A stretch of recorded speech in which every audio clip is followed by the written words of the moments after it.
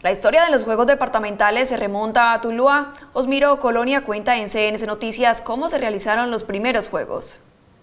Ya, ya habían sacado la ordenanza 070 en diciembre para oficializar los Juegos Departamentales y una partida de 150 mil pesos para, en el tiempo pues, ¿no?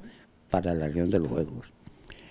Entonces, en la asamblea, en la reunión, en la sesión, llegó y se paró Benicio Echeverri entonces dijo, les dijo, eh, con todo cariño y todo respeto, ¿no? Para con Palmira que ha pedido la sede y los otros que han acompañado y han respaldado naturalmente el movimiento, pedirle a nuestros hermanos del Valle que le dieran la oportunidad a Tuluá de iniciar los Juegos. Así fue como Tuluá logró ser la sede de los Juegos Departamentales, una historia que Osmiro Colonia conoció y vivió personalmente muy gallardo, muy bonito de Palmira, cuando Benicio se habló, Benicio Echeverri, dijo, pues hombre, tenemos que darle la oportunidad a nuestros hermanos de Tuluá, ¿no?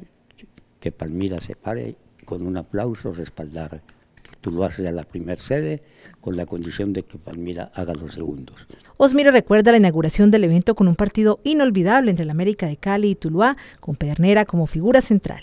En el estadio Seutur estaba ya más o menos ya estaba alistándose para su inauguración. Entonces, sí, señor, entonces jugó medio tiempo con América y medio tiempo con Tuluá. Eso fue, pues, no Adolfo Pernera jugando con la camiseta de Tuluá y todo. Entonces, ahí se consiguieron unos recursos. Esta gloria del deporte tulueño se pregunta por qué Tuluá ha perdido protagonismo como sede de eventos de talla regional, como los Juegos Departamentales. Bueno, yo no sé, sinceramente. Pero pongamos nosotros y al decir nosotros, porque ya después de que yo llegué a la, Junta, ¿no? estuve como coordinador, entonces con don Pedro Vicente Cruz Gaitán, ese gran hombre, Carlos Alberto Pote Roldán, pues que el deporte le debe mucho a él, ¿no? Eh, Gilberto Giraldo Galvez, estilo otro.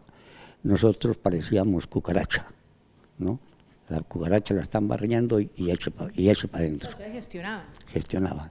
Mire usted ahora con los Juegos Panamericanos, tuvieron en cuenta Palmira, Buga, Jumbo y Tuluá. para los Juegos del 71 tuvieron que tener a Tuluá como su sede del torneo de fútbol de los sextos Juegos Panamericanos que hicieron en Cali.